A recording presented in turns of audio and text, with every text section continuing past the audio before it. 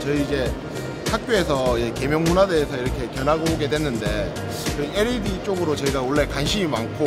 이쪽으로 이제 생각을 좀 많이 했었는데 여기 오보니까 뭐 최신 기술도 많이 보고 이렇게 해보니까 좀 많은 경험을 어, 쌓게 된 것 같습니다.